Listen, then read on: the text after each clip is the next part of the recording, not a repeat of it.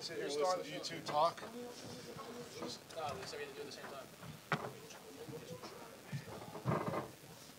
Oh, wow, these are bright lights. No, you're all right. It's not my best side. What are you doing, video? All right, thanks everybody for joining us. We have student athletes Brevin Easton, Brevin Easton, Reese Poffenbarger, and head coach Greg Gattuso. We also have our local media joining us in Albany. Um, coach, if you could, first, congratulations. Thank you. Uh, tough game. Idaho's a really good football team. I think the first half, they, you know, it was, you know, I give my applause to the Idaho fans. Were really good, and it was loud. And um, I think we struggled a little bit early in, on both sides, just communicating. Um, but we settled in and started to play pretty well before the half. And you know, they missed a couple field goals, and that helped. But uh, you know, I just have faith in these guys. They played their tails off. You know, we just kept banging away, banging away, banging away till we could get an opportunity to get the lead. We got the lead, and, and we're able to hold on to it. So it was a it was a magical win for our program, and uh, first time in the Final Four is pretty sweet. Thank you, coach. We'll start with our local media. Adam, will you start us? Adam, you on mute? Good question, Adam. Mark, you can hop in. If not, questions here? Sorry about that. I was on you. Reese Brevin, can you, can you take us through that ability touchdown? Um, yeah, I mean, just good, great play call, and Brevin beat his man and um, had time to throw. So I trust Brevin, you know, with everything. So Yeah, most definitely. It was definitely a pivotal moment and just a great overall play by me and Reese. I cheered for you. Mark? Yeah, Reese, why, why, why were you so successful finding Brevin over and over again tonight? Uh, he was just open. Yeah, I mean, you know, you've been watching us all year. Brevin, uh, I think I just destroyed the mic. Um, Brevin, he's always open. So is Jew. So is Roy. So is Deeds. So is Levi. So it's really, you know, we have incompletions. I blame myself a lot because you know they're such good receivers, and there's always a play to be made. So. Yeah. Brandon? Reese, to get this win, obviously is huge for this program, but to also not only get the win, but to um, set a new record in the process, you know, how does this make you feel personally? Record. You you broke records today. So you have um, career passing touchdown record, 60, Yeah, what's up, Coach Fiocchi? you have single season total offensive yards. So you broke two. Oh, nice. Um, Congratulations. Thanks, bro. Um, that's really cool. Um, you know, when you're so invested in your team, and, and just so, I was just so proud of the guys. You know, I was crying tears of joy after the game, and um, you know, our whole team has that thought process, and, and that's the reason that I don't think anybody on our team would know, you know, exactly, uh, you know, when they broke a record. We don't think about things like that. You know, It's really cool um, to be able to tell my kids one day, but it's cool. Our local media here. Coach Anthony Wood's a special running back. You guys have a really solid rush defense. What kind of problems do you present for you guys, and especially, you know, heading inside? Um, uh, how many yards did he have? I don't. How much? Yeah, I, think you know he, you know, we were felt like we were control the running game. I mean, some of the yards came at the end of the half when we were kind of playing coverage, but he's a good player. I mean, they have a good team. There's no question. This is, you know, you, you feel you feel grateful to be in the final eight with everybody's got a pretty darn good football team, and and uh, he's good, and the receivers were good, and the quarterbacks really good, you know. So, um, but I, you know, we we didn't feel like I don't know they had any real big runs. We weren't really that concerned. We thought we handled them okay, you know, for what we were a lot more worried about Gevani and and, and his his skill set.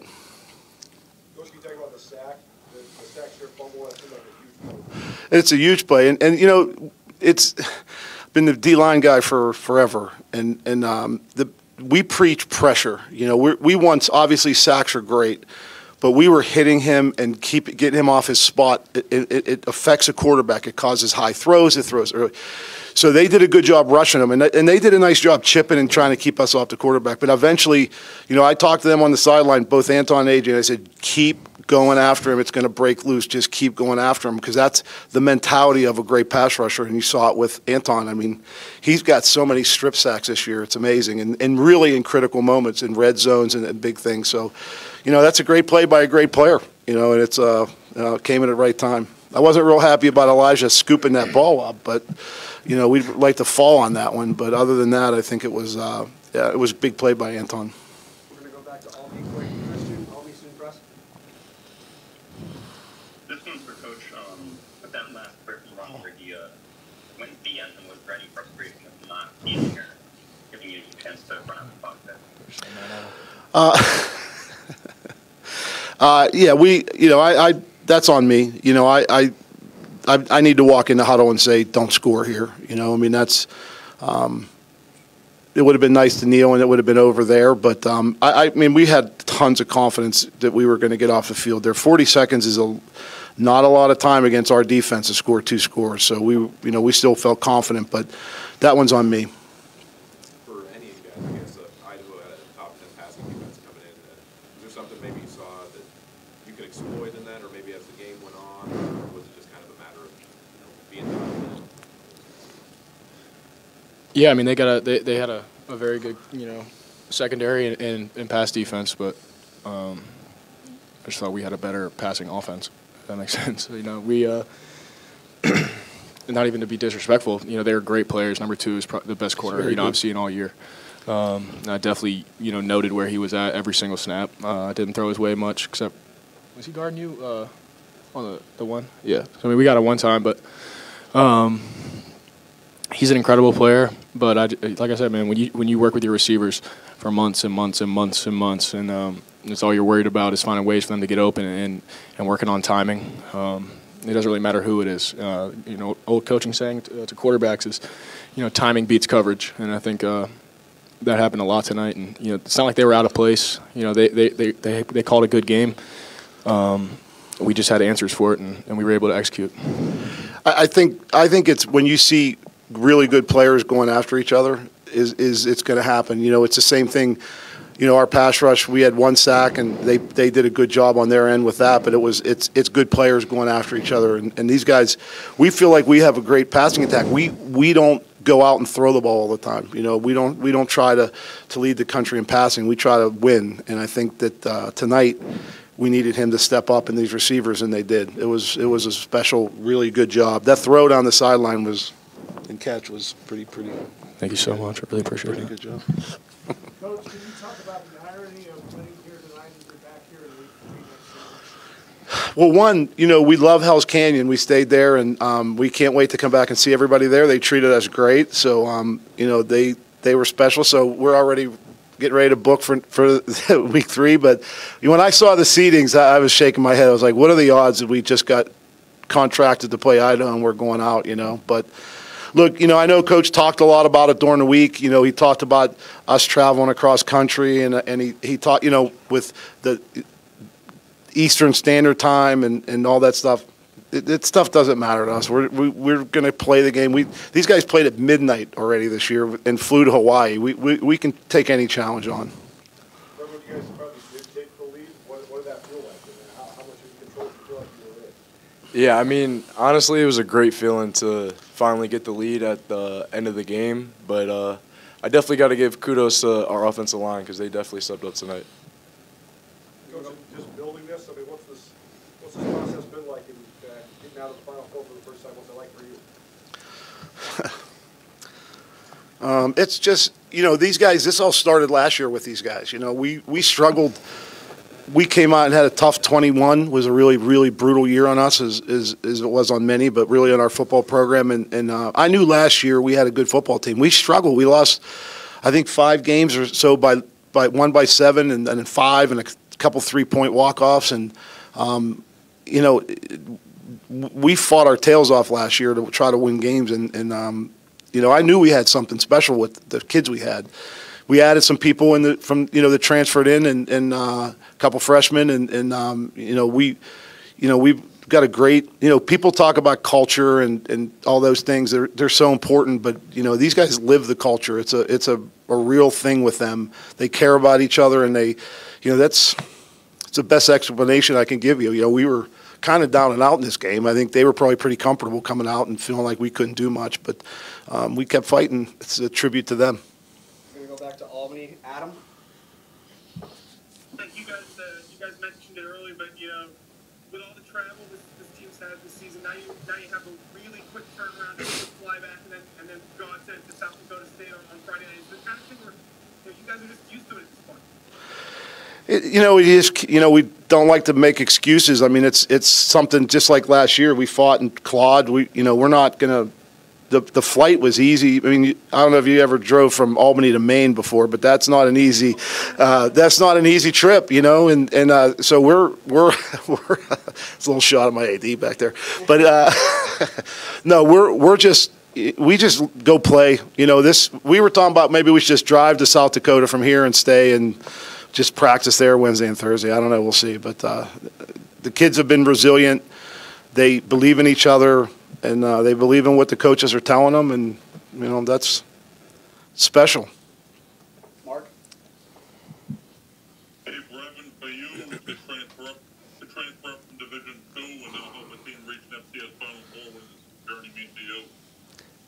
Man, it definitely means everything to get to this point coming from uh, Division two and just a lot of different ups and downs going through in life and always just find a way to persevere. But I'm definitely most uh, happy for me and uh, my whole family, my football family, and everybody on the team. We've been through a lot these last two years, three years going on, and to get to this point is just bittersweet. We're gonna have two more. We'll start with Christian Albany, and we have one more for local media. Christian?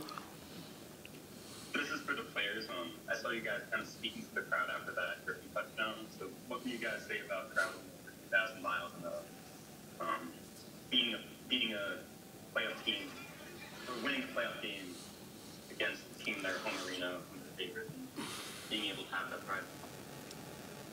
What was, Traveling what, what was he asking? country. Traveling across the country and beating a home team.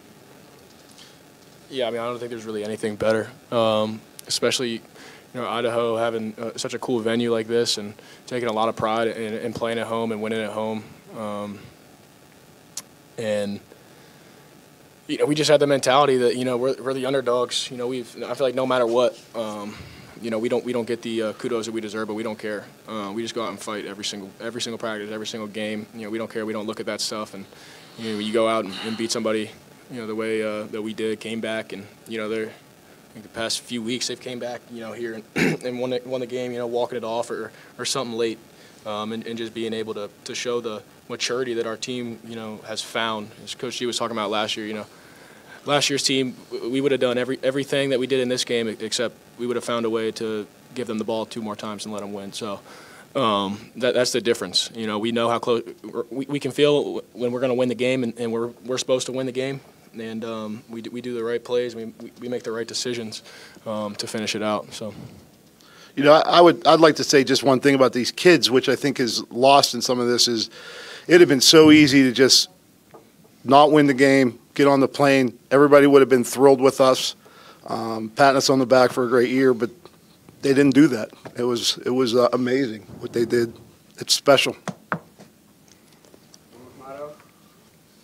Coach, you mentioned it in the opening, but just can you put into perspective the, the streak that you made tonight? Yeah. I mean, uh, there was a, you know, people say we have, is the first time we ever won a game outside the Eastern time zones, and, and, um, you know, we, we, you know, it's, it's, it's, for our program, it's a big thing. You know, when we came out of, you got to realize, Coach Ford took this team from club football to Division three to Division two into FCS, and then into the CAA in the first year, and, and then we've kind of picked the ball up. It's a journey that this program's been on to, um, you know, to do well, and I think uh, it. I knew it was going to take time. You just can't flip the switch. We don't have that kind of ability. We've we've been building and building, and um, uh, you know, to be here is amazing. You know, I I, I can't wait to get get with these guys and get back to practice. To be honest with you, I mean that's the best time of the week practicing. So gentlemen, thank you very much. thank you. Absolutely. Appreciate you guys.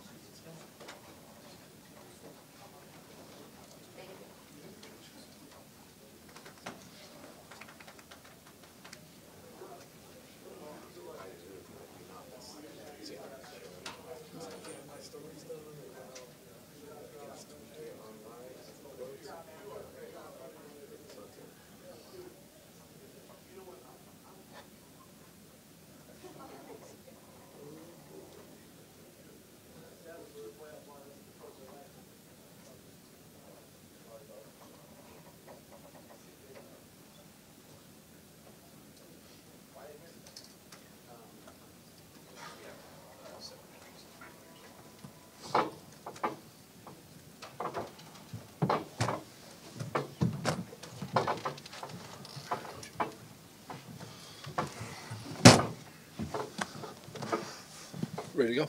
Yeah, we'll open up with, uh, with Coach, have an opening statement, and then we'll, we'll go to media. Uh, you know, uh, hats off to Albany. You know, you know, they got a very good football team, and um, you know, I, I think our, our team played their tails off, but so did they, and they, they made a few more plays than us uh, during the game. So, so credit to them, and, and best of luck to them in the semifinals. Uh, you know, my message to the team was, you know, we shouldn't hang our heads. I, th- I think we uh, took another huge step, and you know, our seniors who are who are moving on, uh, you know, they got a lot to be proud of. You know, for what we were able to accomplish over these past two years, and um, you know, going back to back, uh, you know, playoff appearances for the first time since 94, 95, first playoff win since 93. So a lot of stuff that they can, you know, hold their head high of, and they're, they're always going to be vandals. And, you know, for our guys coming back, it just tells us, uh, you know, we got to get to work. We got to have a great off season. And, you know, the path from being, uh, you know, one of the top eight in the country to the actual number one team in the country is still a, a big gap. It might be as big of the gap from going, um, you know, making the playoffs from being a team with a losing record. So, um, you know, pr- proud of this team. Uh, you know, I, I thought we fought our tails off to the end. Uh, just got to improve and get better. It's one of your best outings from your offensive line until the end. Kind of talk about how they battled against probably the best offensive teams all year. Yeah, I, thought the O line really competed. It's a shame, you know. Number four, who I think is a great player, uh, that was his only tackle of the game. He had one tackle and it's a sack at the end of the game. Uh, but to hold that team to one sack, I think was uh, you know impressive for Anthony Woods to you know rush for 100 yards against that defense when I think their whole team was giving up about 75 a game and leading the country. Uh, a lot of good things. Now we, we didn't move the ball as well in the second half. We got to move the we got to you know they made some adjustments. They started playing some new coverages to try to take away. We heard them a lot throwing the ball to the field, uh, and they started adjusting uh, in the second half, and you know, we got to do a better job of adjusting to their adjustments. Uh, uh, with things, but proud of the O line, the way they hung in there. It's just uh, you know their, their guy made a play there late in the game. You know when we were not bad position uh, at that time, only down four. How would you overall kind of gauge how the offense played? It seemed like uh, settled in stretches, not, not as much. I, you know, I really like how we played in the first half. You know, I think we were averaging seven yards a play in the, in the first half. Um, you know, we, we finished with 6.4, so that tells you we were probably, you know, five yards a play in the second half. But, uh, you know, it's a defense that gives up about four and a half yards a play. Um, you know, we, we got to find a way. You know, I, I thought we, we settled for too many long field goals. You know, we, we missed three field goals, but they're long. You know, they're uh, 45 and 252s, you know, which are, you know, you, you can't count those as uh, points in your back pocket. We got to try to uh, get in there closer. They, were, they weren't quite red zone opportunities, but we needed to be better kind of in that fringe area outside the red zone to get in there and, and capitalize and, uh, you know, get some more touchdowns. So, um, you know, I, I, that's a really good defense, but, uh, you know, I thought we had opportunities uh, to score more. Uh, and we got to keep getting better going forward next season. Season uh, comes to a close, what do you want these fans, these players to remember most about this 2020 Well, you know, again, I think, I think they should be proud of these seniors who are moving on just for what they did to help, uh, you know, get this program turned around in a, in a lot better shape. And, uh, you know, I thought our crowd was awesome again the tonight, having over 9,000 people. And uh, I think we, our fans need to start training themselves for, you know, weekends in December, keeping those weekends free because uh, plan on having a lot more uh, home playoff games in the Kibbie Dome over the next few years. And, uh, you know, they should be proud of this team. I think it brought a lot of uh, pride uh, to this university and uh, a lot of great exposure. And, you know, we got, we got to keep building, but I think they should be very, very proud of these young men, these student athletes. Is it uh, disappointed with the loss, or is it more disappointed with how you lost? I, you know, I, think any season that ends, uh, especially you know a good season where you're in the playoffs, is, is disappointing. But uh, you know, I, I told our guys we shouldn't be hanging our head. You know, it's uh, you know it's obviously some finality for the guys who, uh, you know, who their eligibility's up, but. Um, you know, I don't think anybody should hang their head. We, we got a lot to be proud of, and uh, you know, we, we got a, a really good team. Was a few plays better than us. You know, we uh, we competed well, and you know that happens when you're in your competitive outings, and so yeah, you always you, know, you really you really are sad more than anything because you don't get to spend another week with these guys. Would have been a lot of fun to spend another week with them. Yeah, I mean, it's something that, um, you know, it's inevitable as a as a college athlete. I think it's something that, you know, hits you, but it's something that I'm proud of. I'm proud to be able to say that I played five years of eligibility at the University of Idaho, and um, you know, truly have found a, a second home outside of Phoenix, Arizona, where I grew up and lived my entire life. And so, you know, I came in to this university with 45 kids. There's six of us still here that stayed all five years, and uh, you know, my twin brother being one of them. And so, it's it's sad. It's very sad, but it's it's a, you know, it is an accomplishment because I set out to play college football and this was my dream and being able to live it and be a vandal has been living my dream.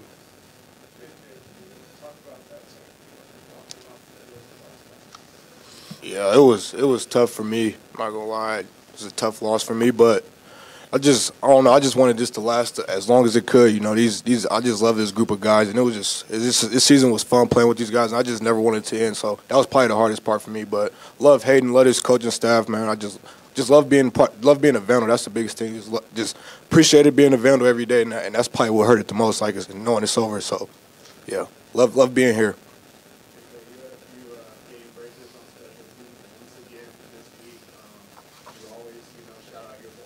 Yeah.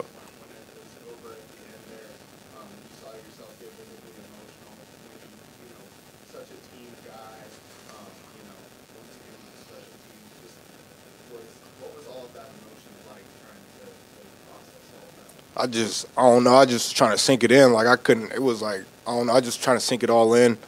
Just just I just knew it was over when I was. It, it, just, it was hard to believe that it was over. That was probably the toughest thing. But uh, you know, I just I, I want to keep playing football as long as possible. So that's something I can look forward to. But it's it's so it's just gonna be a hard couple of weeks or a couple months for me to get over this for sure.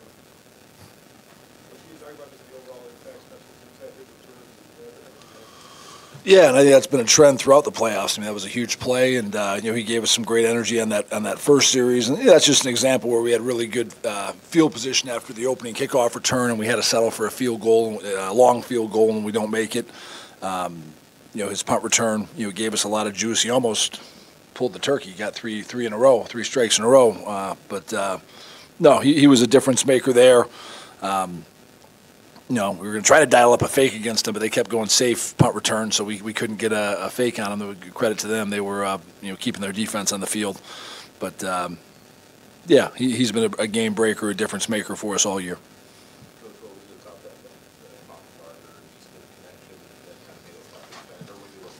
Yeah, I mean, you know, Easton uh, really impressed me. Uh, you know, he, he he was tremendous, and uh, you know, I thought they did a good job of, of moving him around, so it wasn't wasn't. Uh, you know, maybe if we would have played him again, you'd, you'd maybe say, hey, let's try to lock Marcus on him and put him on wherever he goes. But uh, they did a good job. One, one of his touchdowns, we had a, we weren't on the same page in coverage, and that's the one he got really open at the end of the first half. Uh, that was a shame, but uh, you know, Reese can really extend plays. I mean, he, he's excellent at moving in the pocket and extending plays, and I know at least one of their touchdowns came off of that, where he was able to escape the rush and uh, and get there. Um, you know, we got to him a couple times, had two sacks on him, but uh, you know, those guys are both great players. And, uh, you know, hats off to, to Easton and Poffenbarger. They, they competed their tails off and made a lot of plays for them. Again, they made a, they made a couple more plays than we did.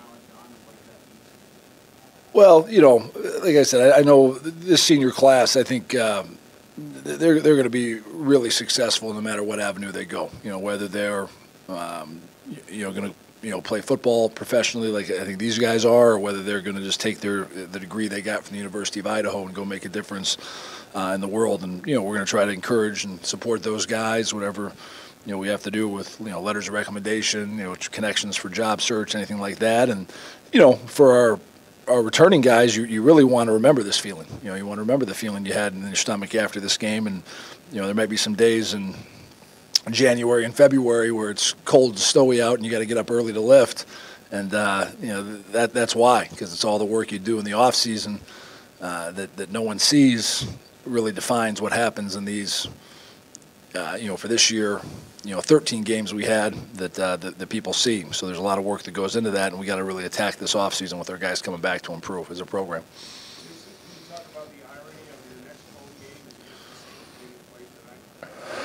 yeah, I prob- I probably shouldn't uh, encourage some of those guys to go pro, knowing that, because they had some, they had some good players. I know Poffenbarger's back, the quarterback. Uh, Yeah, I mean, that, that happens, uh, you know, sometimes. So, uh, you know, obviously we have other games before that on the road we, we got to get ready for, but that's, that's a good football team. I, I told uh, Coach Gattuso that I, when we, when we signed this game, they were three and eight. I didn't think they were very good. Now they, now they got a heck of a football team and, uh, you know, won 11 games. So that's a good football team that comes in and, uh, but we'll, we'll, we'll focus more on that later.